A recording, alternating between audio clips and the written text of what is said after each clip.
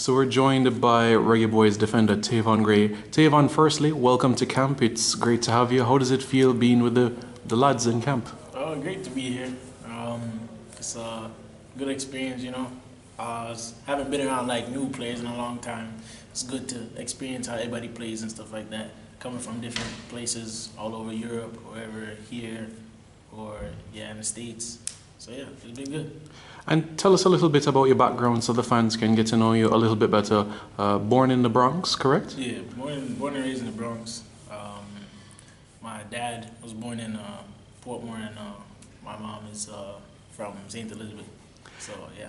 So it's fair to say you grew up with a Jamaican culture in the For States. sure, hundred percent, hundred percent. So like the food, the music, culture, everything. Yeah, for sure. That's great. And do you get to visit from time to time, you know, like holidays from school and so on? Yeah, yeah. I'm probably.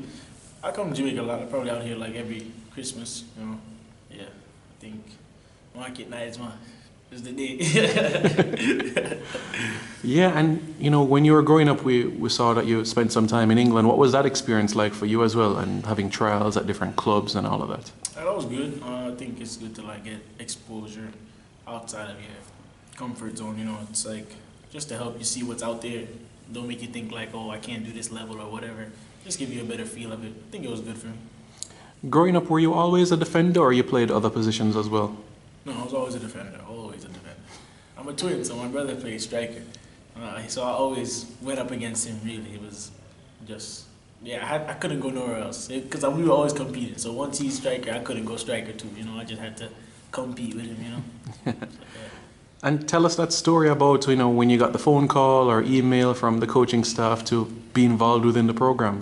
Um, yeah, I think that was a good uh, feeling for me and my family. Um, we obviously sat down and spoke about it. Everyone knows like I played for US before this. Um, but yeah, I think Jamaica just gave me the opportunity to showcase myself, showcase my talent to the world. So I'm gonna do that. Yeah, and I'm sure you saw how the team did at the Gold Cup. How, how do you think the team played at the tournament? Oh, I think they played good. I think I think they played good. I think I think USA got slipped away, skin of their teeth still, but they did good. They did good. I think that that game was my favorite game for sure. I thought we should have won though, you know, but we'll get them next time. No worries. Yeah, and growing up when you were a kid, or even now, it was there a reggae boy or you know, past or present, that you looked up to? That you said, you know, I admire his style of play, or you know, that's a, a player I look up to. Uh, I guess I look at the baby for sure. Uh, I've been around him a little bit, uh, just coming to Jamaica and uh, playing pickup and stuff like that in the past. So yeah, I think he's a good role model to have. Yeah, and playing, you know, in the MLS, playing with New York, how has it been for, for you playing not only professional football, but playing like in the city where you were raised? Oh yeah, that's I always get asked this question. That one is like a no-brainer. I think that's the best feeling in the world.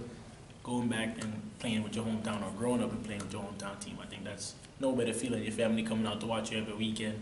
So yeah.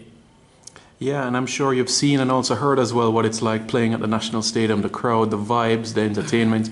I'm sure you're looking forward to these two games. Most definitely, most definitely. I've never been on the stadium. Like I've never been on the field. I've been to the stadium, but I never played on the field. So definitely looking forward to that. All right, and, and finally as well, Tayvon, you know, what would be your, your message to Jamaican fans all across the globe? Well, let's go out with a faith, you know? We going we gonna do it. Don't worry.